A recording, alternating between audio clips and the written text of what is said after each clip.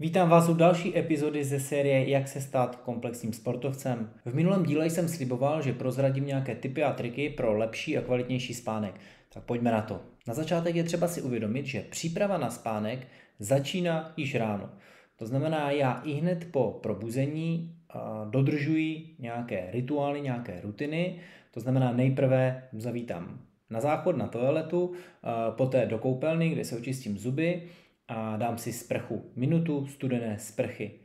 Poté se přemístím do kuchyně, otevřu okno, nadýchám se čerstvého vzduchu, po tady tomto všem se ještě hydratuji. Vypiju dvě, asi 300 ml sklenice vody, kde mám elektrolyty, tak abych doplnil potřebné minerály, které jsem ztratil přes noc. No a poté se nasnídám a vrhám se do pracovního nebo laufovo-sportovního dne. Přes den se snažím optimalizovat cirkádní rytmus i tím, že jím plus minus ve stejné časy, to znamená snídaně, oběd a večeře se vždycky točí kolem určitých hodin a po 15. hodině už nepřijímám kofein. Opravdu se snažím po 15. hodině omezit kofein, to znamená žádná káva, žádné zelené čaje, předtréninkovky, když už před tréninkovku, tak bez kofeinu a žádné energetické nápoje, eh, zkrátka žádné stimulanty.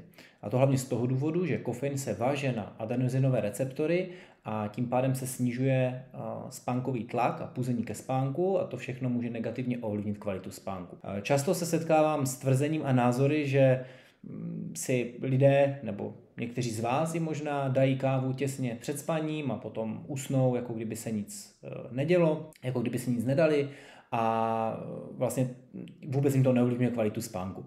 Ale důležité je si uvědomit, že eh, to, jak je kvalitní spánek, poznáte ráno po probuzení. To znamená, jestli máte energii, vitalitu, výkonnost a nepotřebujete žádné další stimulanty, v tom případě v pořádku patříte mezi hrstku lidí, které nevadí kofein před spánkem ale myslím si, že většina z vás opravdu by měla omezit eh, ten kofein v pozdních odpoledních hodinách a večer, aby ta konzumace nenarušila kvalitu spánku. Eh, když už jsme u stravování, respektive třeba u kávy, tak si řekneme eh, ještě něco o jídle před spaním. Já se snažím nejíst nebo nejpozději jíst dvě hodiny před spaním a to hlavně z toho důvodu, ať se nenajím těsně před spaním a ať mi to zase negativně neovlivní kvalitu spánku, protože tělo samozřejmě bude trávit, bude zvýšená tepová frekvence z největší pravděpodobností tělesná teplota, což vlastně může narušit ten spánek. Před spaním si dávám ještě magnézium bisglycinát a omega 3 a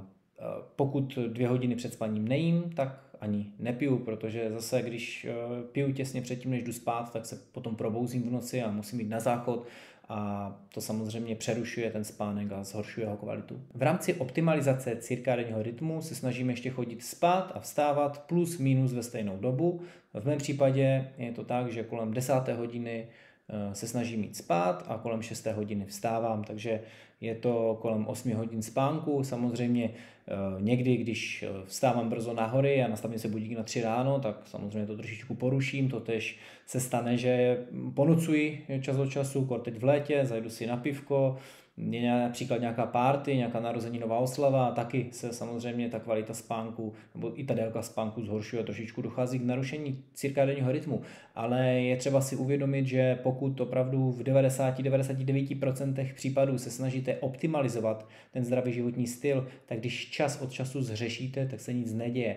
Horší je, pokud eh, na to kašlete, jak se říká, kašlete na spánek, kvalitu stravy a management stresu a potom může právě docházet k problémům.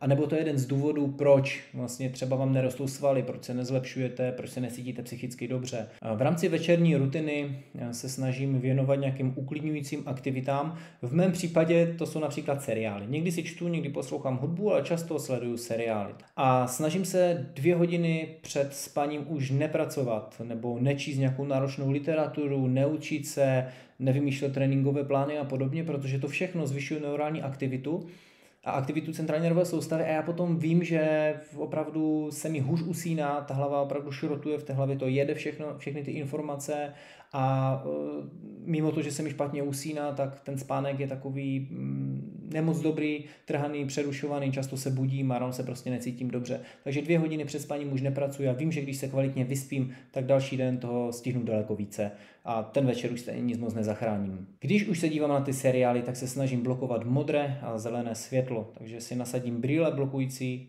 uh, modré a zelené světlo, ty dvě hodiny před spaním, dívám se třeba na seriál, případně se dívám, já nevím, do notebooku, ale to minimálně většinou na televizi.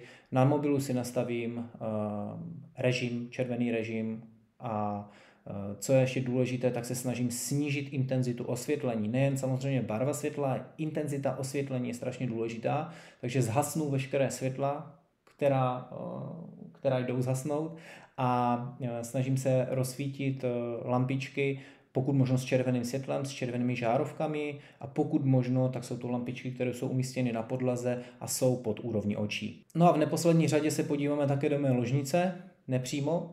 Eh, v ložnici se snažím udržovat chlad mezi 16, 19, 20 stupní.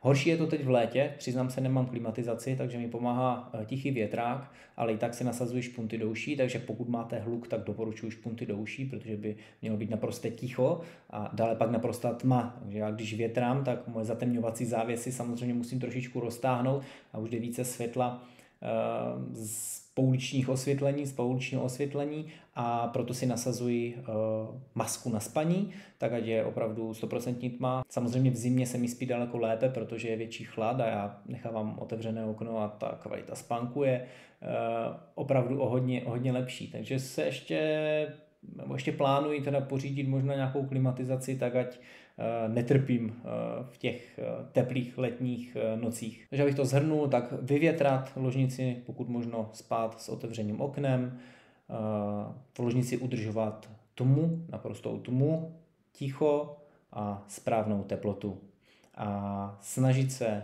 z ložnice odstranit veškeré elektronické zařízení. To znamená mobil do letového režimu, nemít v ložnici televizi a nebrat si tam ani noťás, ani nic podobného a opravdu mít tu ložnici jako takovou kopku na spaní.